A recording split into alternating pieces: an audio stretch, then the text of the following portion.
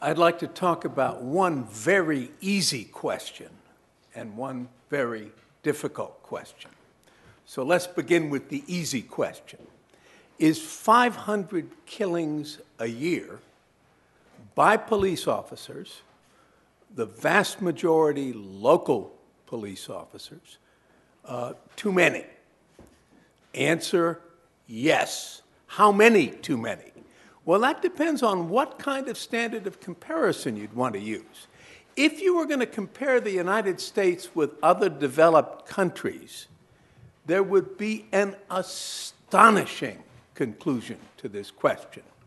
Uh, I'm just back from the United Kingdom. The number of citizens of the United Kingdom killed by police in any year could be counted on the fingers of one hand. Now, the population is a little less, so that that only means that the American rate is 60 times the English rate. It doesn't mean 100 times. 60 times the German rate.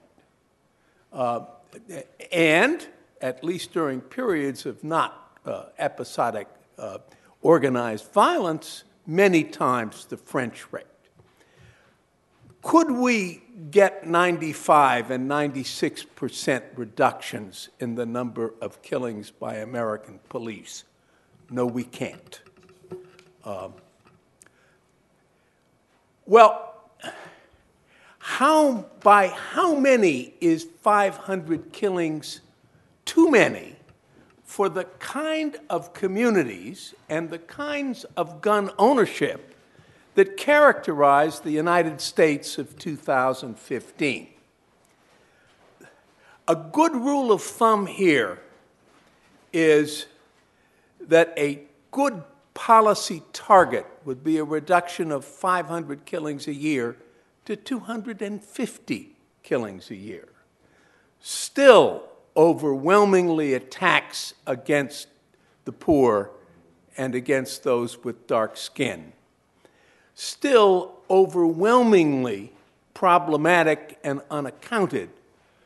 But the big difference between 500 and 215 is a set of policies very much worth finding. Now, what are the situations that could lead to reductions in civilian casualties? Andrea mentioned one, about 100 times a year, uh, citizens are killed when police believe that they're being assaulted with knives or blunt instruments or personal force. And these are all mechanisms that do not put the police officer's life at uh, risk. So they call for less than lethal force. That's 100 times a year. Police officers also, when they start shooting, keep shooting too long. Uh, it isn't a question of firing one or two or three or even ten. Most of these shootings are not single officers, but officers in pairs. And not infrequently, you're talking about 30 rounds making sure. Making sure, of course, in that way, elevates the death rate very substantially. And that gives another opportunity for reducing fatalities. Finally, police officers very frequently press forward in situations where they don't have to two people are sitting in a car at uh, 2.30 in the morning and police officers draw their guns and come forward. Uh, there may in fact have been some crime uh, being committed but in the case that i'm talking about none have been reported. Pushing the issue in that way leads to situations where people are going to make gestures that police will then interpret as he was going for a gun.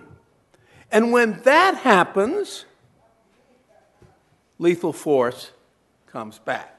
So, those are three circumstances where the death toll from police lethality could be substantially decreased. But how are we going to do it?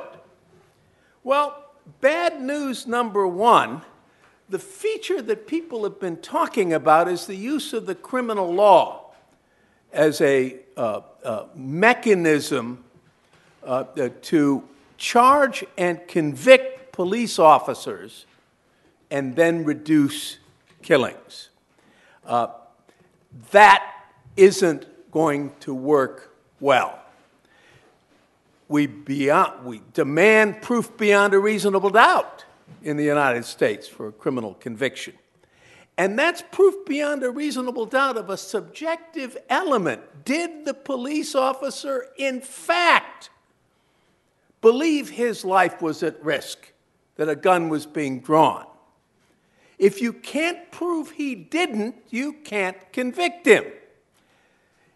And prosecutors and juries think like police officers and believe police officers. So that the only cases of criminal conviction that you're going to get are situations where the officer was obviously not in peril. The Oscar Grant case, where somebody is down on a, a BART station floor and is shot. The Rodney King beating, when he was beyond any uh, affirmative capacity. That's fine, but those are the cases on the fingers of one hand again every year in the United States, and that's not going to save a lot of lives. What will is, first of all, federal lawsuits for money damages. That's a very important deterrent, and it is at least 10 times as likely to actually happen. So money talks here and money can save lives. Much more important than that is motivating police administrators and police training to create incentives and to create disincentives for lethal force. If restraint is rewarded and excessive force is punished inside police departments, the death toll can really drop non lethal responses will happen when they are not punished as extensively as shooting and keeping shooting.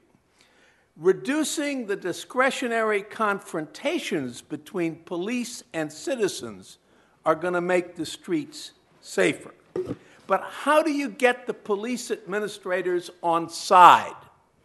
In 1994, Congress, really as a, as a, a commemorative to, uh, uh, uh, uh, to a Los Angeles beating, passed a bill called Section 14141 of the Federal Crime Control Act of 1994, which gives the Department of Justice the power to intervene with civil actions to then engineer consent decrees and to make systemic progress toward departments that keep uh, uh, uh, uh, excessive violence rates for long periods of time.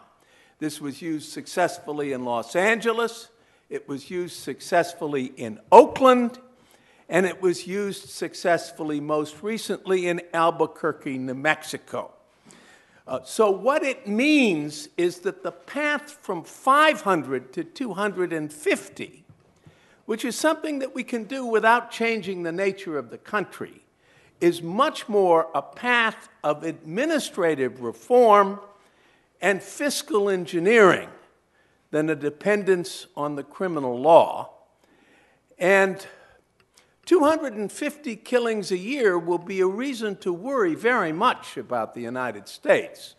But by comparison with our standards in, in 2015, it would be real progress in an area that has long been ignored. End of sermon.